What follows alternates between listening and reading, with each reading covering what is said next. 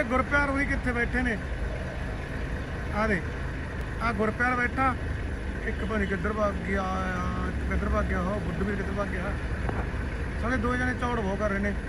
ਬੁੱਧਵੀਰ ਬਣੀ ਵਿੱਕੀ ਕਿੱਧਰ ਨੂੰ ਭੱਜ ਗਿਆ, ਬੈਠਾ ਬੈਠਾ, ਉਹ ਬੈਠਾ ਤਾਂ ਗੁਰਪਿਆਰ ਤੇ ਕਿੱਧਰ ਗਿਆ ਦੂਰ ਭੱਜ ਗਿਆ ਆ ਸੀਗਾ ਆ ਬੈਠਾ ਬੁੱਧਵੀਰ ਆ ਬੈਠਾ ਗੁਰਪਿਆਰ। ਦੋਏ ਸਾਲੇ ਇੱਲ ਦੀ ਕਿੱਥੇ ਚੜੇ ਬੈਠੇ ਨੇ? ਆ ਜਾ ਕਰ ਚੱਲੀ ਓਏ। ਆ ਚੱਲੀ ਓਏ। ਹਾਂ ਜੀ ਕਿਵੇਂ ਕਰਾ ਦੇਖੋ ਓਏ ਆ ਚੱਲੀ ਓਏ ਗੁਰਪਿਆਰੀ ਗੁਰਪਿਆਰ ਆ ਚੱਲੀ ਓਏ ਹਾਂ ਤੈਨੂੰ ਕਹਿਣਾ ਆ ਜਾ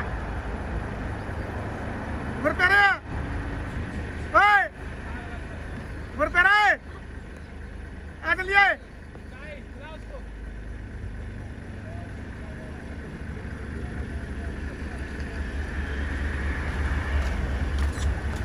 ਆ ਚੱਲੀ ਗੁਰਪਿਆਰੀ ਆ ਜਾ ਬੱਚਾ ਆ ਜਾ,